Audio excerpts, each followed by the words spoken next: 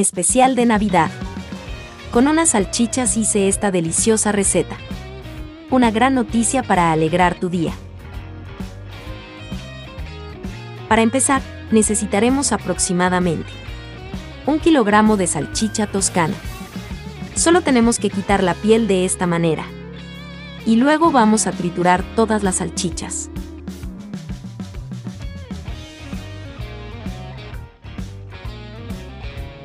Ya cuéntamelo aquí en los comentarios.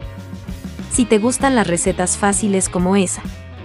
O prefieres los más afilados.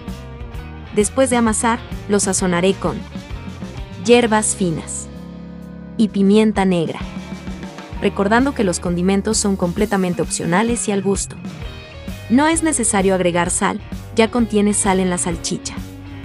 Yo también agregaré 3 cucharadas de pan rallado, y aquí solo tenemos que mezclar todo muy bien. El pan rallado sirve para unir la salchicha. Bueno chicas, van a usar un plástico. O un pergamino como yo. Y arrojemos todas nuestras salchichas encima.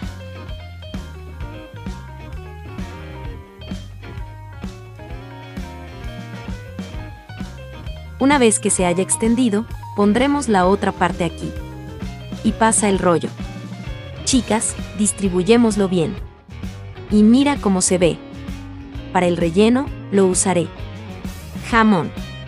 Recordando que el relleno es completamente opcional y a tu gusto y preferencia. Yo también estoy agregando queso mozzarella.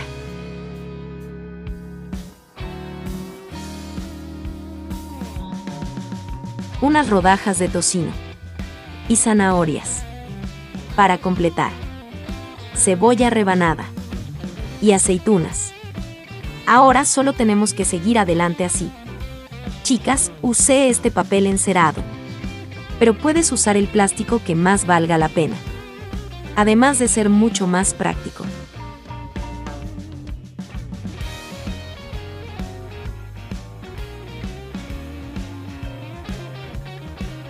Ahora voy a untar con salsa de tomate encima orégano al gusto.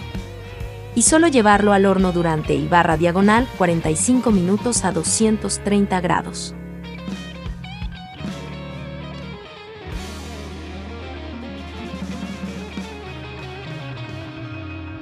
Y miren solo chicas, qué asombroso es. Ya había hecho una receta similar.